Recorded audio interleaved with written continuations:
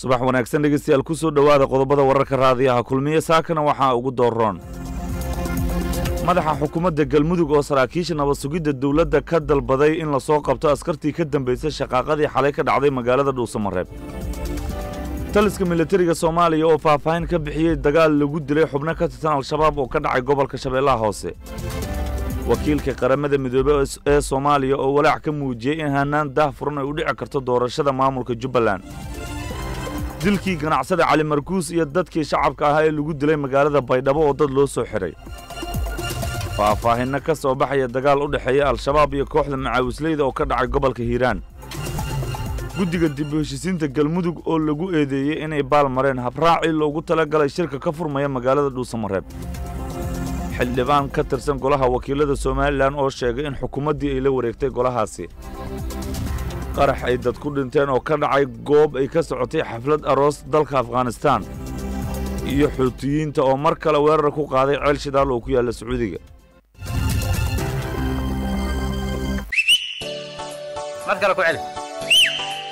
War bal maxaan kaaga warramaa. Xaaladda dalka dee ma run baad rabtaa mise been? Run baan rabaa beenraad ma leh. Kulmiye ka dhegayso. Wayna kaa haddaba waa subax axada taariikhduna ay ku beegan tahay siddeed iyo tobanka bisha toddobaad sannadka laba kun sagaal iyo toban. Warkan uu soo saaray maxamed cali. Maxamed waxaa faahfaahintiisa u diyaara farxiyo xuseen cali. Waad mahadsan tahay axmed siciid axmed subax wanaagsan ku soo dhowaada dhegeystayaal warkaasi oo faahfaahsan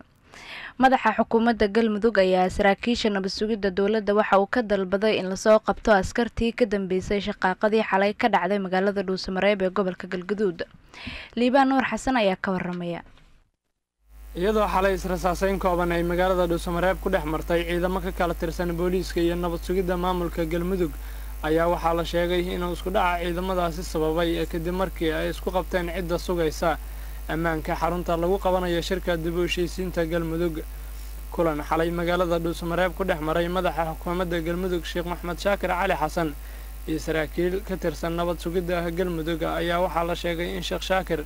uu saraakiisha ka dalbaday inay soo qabtaan. Askartii ka tirsaneyd nabad sugidda ee xalay isku dayday inay la wareegaan ammaanka hoolka lagu qabanayo shirka oo ay ku sugnaayeen ciidamo booliis ah madaxa xukuumadda galmudug ayaa sheegay inaysan ogolaan doonin in la carqaladeeyo ammaanka magaalada dhuusamareeb iyo ergada ka qaybgelaysa shirka. Dhanka kale guddoomiyaha magaalada dhuusamareeb ee xarunta maamulka galmudug macali nuur cilmi cabdulle oo warbaahinta kula hadlay magaaladaas ayaa sheegay in wasaaradda arrimaha gudaha federaalka ay carqaladeyn ku hayso guddi oo maamulkiisu u xil saaray soo dhoweynta iyo dibudejinta ergooyinka dhuusamareeb u gaaraya ka qaybgalka shirka dib u heshiisiinta galmudug guddoomiyaha ayaa sheegay in maamulkiisu uu sameeyey jadwal loogu talagalay arrimaha dib u heshiisiinta balse ay garab ordayso wasaaradda arrimaha gudaha oo sidaa uu sheegay isku dayeysa inay kala ilaaliso maamulka caasimadda iyo ergooyinka ku qulqulaya magaalada dhuusamareeb si ay uga qayb galaan shirka dib u heshiisiinta oo lagu wada inuu dhowaan ka furmo magaaladaasi. Waxaa jiray guddiyaal diyaarsanaay oo muddo bil iyo bar ah ka hor la ansixiyey oo loogu talagalay inay soo dhoweeyaan walaalaha imaanaya inay u goglaan meel kasta oo waxaa weeyaan la rabo in loo xaaro ama maxaa weeye loo nadiifiyo. Waxaa jiray guddiyaal loogu talagalay inay si gaara ula shaqeeyaan laamaha amniga oo ka koobnay xaafadaha oo waxaa weeyaan qof walbaba waxaa la yidhahdaa saaxiibulbeyti adraa mima fiihi baa la yidhahdaa qofka guriga iska leh. Isaga ayaa waxa ku dhex sugan. Kaa aqoo og. Waxaa jiray maamulka caasimaddu jadwal ou sameeyey maadaama halkan cadowga uu beegsanayo oo ay tahay meesha keliya ah maantay qarannimadii maadaama halkan uu imaanayo ra'iisul wasaarihii horena u yimid dhaliil weyn aan ka dareemayno dhanka wasaaradda arrimaha gudaha iyo cidday u saareen inay arrintan nagala shaqeeyaan.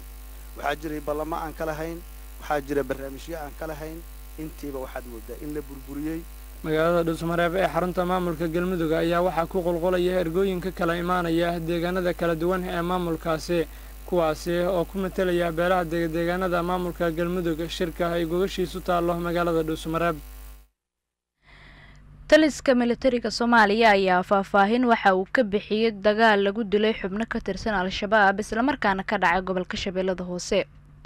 Farxaan maxamed xuseen ayaa warkan inoo faahfaahinaya wararka ka imaanaya gobolka shabeellaha hoose gaar ahaan deegaanka ceel saliim ee hoos yimaada degmada marke ee gobolka shabeellaha hoose ayaa waxay sheegayaan in halkaasi lagu dilay afar xubnood oo ka tirsan dagaalamayaasha al-shabaab kadib markii halkaasi dagaal uu ku dhex maray ciidamada militariga soomaaliya iyo al-shabaab sida ay sheegeen taliska militariga dowladda soomaaliya. Dagaalka ayaa waxaa la sheegay inuu socday muddo saacada islamarkaana la isu adeegsaday hubka noocyadiisa kala duwan sida dadka deegaanka ay sheegeen. Sidoo kale dagaalka waxaa lagu dhaawacay laba xubnood oo ka tirsan dagaalamayaasha al-shabaab sida militariga soomaaliya ay sheegeen ma jiraan wax warar ka soo baxay dagaalamayaasha al-shabaab oo ku aadan dagaalka ka dhacay deegaanka ceel saliimi hoos yimaada degmada marke ee gobolka shabeellaha hoose. Islamarkaana militariga soomaaliya ay sheegeen in al-shabaab dagaalkaasi loogu dilay afar xubnood sidoo kalena laba kalin loogu dhaawacay. Guud ahaan gobolka shabeellaha hoose waxaa ka socda dagaal ka dhana dagaalamayaasha al-shabaab oo ay bilaabeen militariga soomaaliya iyadoona howlgalladaasi al-shabaab loogu qabsaday deegaana ay horay gacanta uga hayeen oo ay ka mid tahay degmada owdhiigle ee gobolka shabeellaha hoose. Wararka qaar ayaa waxay sheegayaan in guud ahaan taliska militariga soomaaliya lagu amray in ay bilaabaan dagaal ka dhana al-shabaab islamarkaana ay ka saaraan al-shabaab tuulooyinka iyo degmooyinka ay gacanta ku hayaan ee ka tirsan gobollada dalka wakiilka qaramada midoobey ee soomaaliya ayaa walaac waxa uu ka muujinayaa in hanaan daahfuran ay ku dhici karto doorashada maamulka jubbaland. Cabdulaahi maxamed cali ayaa faahfaahinaya wakiilka xogeyaha guud ee qaramada midoobey james swon ayaa mar kale ka dalbaday guddiga doorashooyinka jubbaland inay fuliyaan dhammaan qodobadii ay ka dalbadeen beesha caalamka taas oo aan la fulin badankood warqad uu james swon wakiilka xogeyaha guud ee qaramada midoobey u diray gudoomiyaha guddiga doorashooyinka maamulka jubbaland xamse cabdi bare ayuu ugu horeyntii looga mahadceliyey sida ay u soo direen warqadii jawaabta ahayd oo lix iyo tobankii bishan u soo direen taas oo ay kaga jawaabayeen kulankii shan iyo tobankii bishan agosto ay la yeesheen wakiilka xogeyaha guud ee qaramada midoobey amisom iyo igad waxaana sidoo kale kulankaasi uu daba socday warqadii wax kabeddelka ahayd oo ay guddiga loo diray sideedii ilaa iyo tobankii bishan agosto sidoo kale guddiga uu hogaamiyo guddoomiye xamse ayaa looga mahadceliyey guddiga ama sidii ay ugu dareen wakhtiga dheeraadka ah ee doorashada. Si jaanis loo siiyo musharaxiinta aan weli isdiiwaan gelin balse waxa uu sheegay james swon in wakhtigaasi uu yahay mid aada u yar. Balse james swon ayaa warqad uu u diray guddoomiye xamse ugu sheegay in weli aysan buuxin qodobadii ay beesha caalamka codsatay in wax laga bedelo si loogu kalsoonaado hanaanka doorasho ee maamulka jubbaland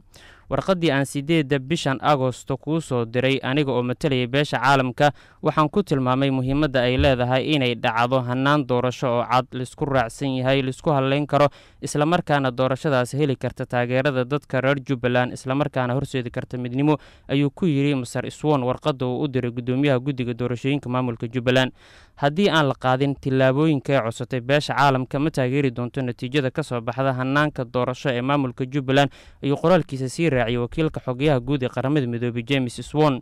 guddiga doorashooyinka ee maamulka jubbaland ayaa muddo saddex maalin ah fursad u siiyey in musharaxiinta aan horey isku diiwaangelin ay isdiiwaangeliyaan balse musharaxiinta mucaaradka ayaa taasi ka hor yimid iyadoona qoraalka uu soo saaray wakiilka xogeyaha guud ee qaramada midoobey uu xoojinayo go'aankooda waxaana sidoo kale xusid mudan in wasaaradda arrimaha gudaha ee dowladda federaalk soomaaliya ay shalay qaadacday doorashadii hogaanka baarlamaaniga ee maamulka jubbaland. Waad mahadsantahay cabdulaahi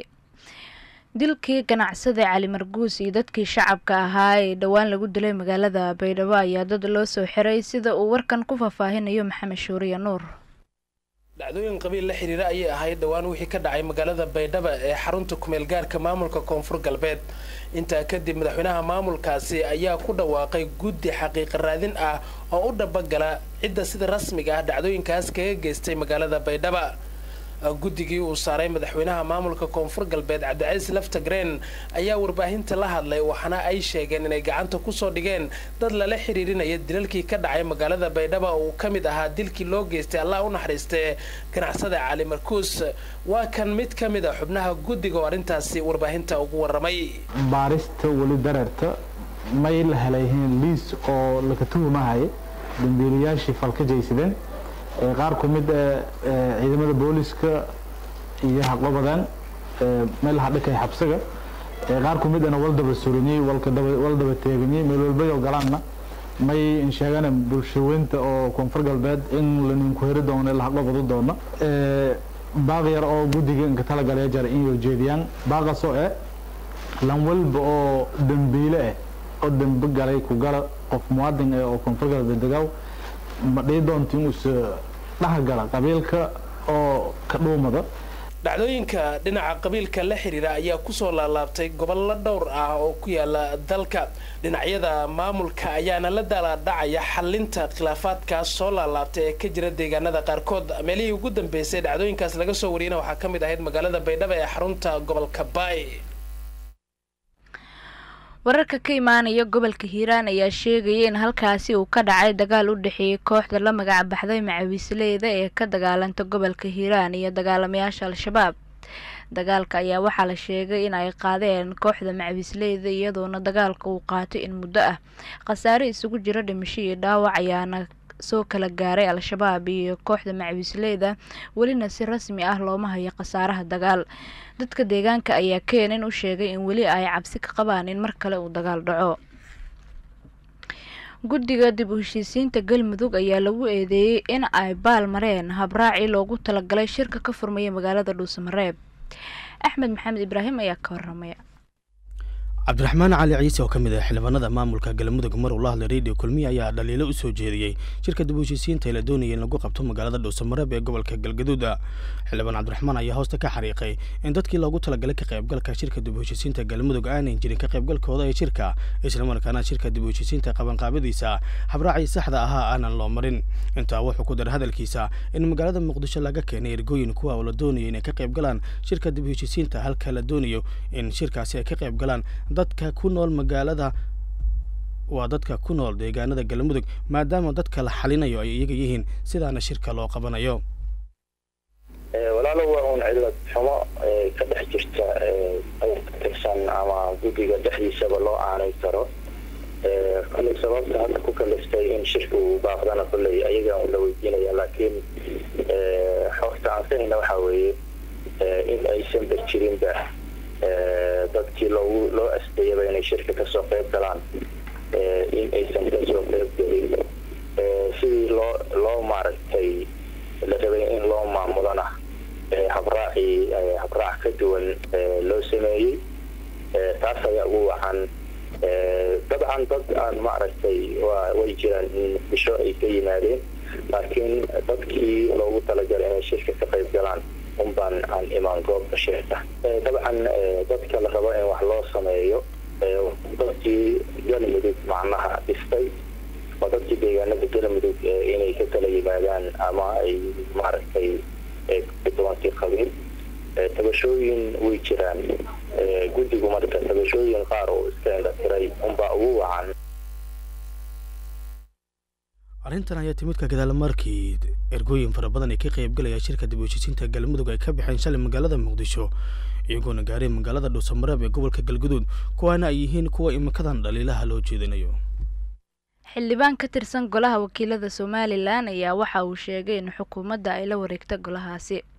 Xildhibaan cabdiqaadir xaaji ismaaciil jirdi oo ka tirsan golaha wakiilada somalilan ahna xubin ka mid a xisbiga mucaaradka ee wadani ayaa madaxweynaha somalilan iyo xukuumaddiisa waxa uu ku eedeeyey in ay afduubteen oo ay la wareegeen golaha wakiilada somalilan. Hadalkan ayuuna warbaahinta u sheegay hadalka xildhibaankan ka tirsan golaha wakiilada somalilan ayaa waxa uu imaanayaa iyadoo shalay golaha wakiilada ay laaleen mooshin la doonayo in lagu kordhiyo guddiga doorashooyinka somalilan. Warka subax ee keenan ayaadna weli dhegaysanaysaan qarax dad badan ay ku dhinteen ayaa waxa uu ka dhacay goob ay ka socotay xaflad aroos dalka afghanistan. Qaraxa ayaa waxaa lala beegsaday goob ay ka socotay xaflad aroos waxaana laga cabsi qabaa in khasaaraha dhimasho uu sii kordho. Dad goobjoogayaal ah ayaa sheegay in qof isku soo xiray walxaha qarxa uu isqarxiyey xilli lagu guda jiray xafladda arooska. Goobjoogayaasha ayaa waxa ay sidoo kale sheegeen in ay arkeen meydad u badan dumar tirada dhimashada ayaa saaka lagu sheegay lixdan iyo saddex ruux dhaawacuna intaas waa uu ka badan yahay. Deegaanka uu qaraxa ka dhaca ayaa waxaa u badan dadka haysta madhabta shiicada. Ma jirto koox sheegata mas'uuliyadda qaraxan oo ka dhacay bariga caasimada kaabuul ugu dambeyntiina dhegeystayaal weerar loo adeegsaday diyaaradaha aan duuliyaha lahayn ee loo yaqaano droniska ayaa lagu qaaday warshada soo saarta shidaalka ee dalka sacuudiga war-saxaafadeed ka soo baxay shirkadan ayaa lagu xaqiijiyey in ciidanka ammaanka ay ka hortageen diyaaradan iyadoona aysan jirin waxyeelo ka dhalatay. Afyeen u hadlay xootiyiinta ayaa goor sii horeysa waxa uu sheegay in toban diyaaradood ay ku weerareen ceelka shidaalka ee sheyba xootiyiinta ayaa dhanka kale sheegay in weerarkan uu yahay kii ugu xooganaa oo ay ku qaadaan gudaha sacuudiga. Warka subax oo aad kala socoteen raadiyo kulmiya waa inaga intaa